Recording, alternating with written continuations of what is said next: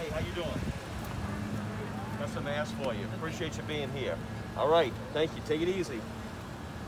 Doing another mask giveaway here at the Kenner City Park Pavilion, um, along with Councilman Segura and all the volunteers that we have here. You see we got a few cars that are coming in. We're happy to keep on doing this. This may be one of our last ones because we're starting to get down our inventory. I want to thank Councilman Segura for always showing up for all these things, Councilman. Yes, another Thursday morning where we're doing something to help our community. Today we're giving some masks out. We're very glad to do so. Till we run out, we'll keep doing it. Thanks, y'all. I want to thank everybody who comes out here and actually takes the time to get these masks. And like I said, the Kenner City Council has worked very closely with the administration to help us get this distributed throughout the city. Thank y'all.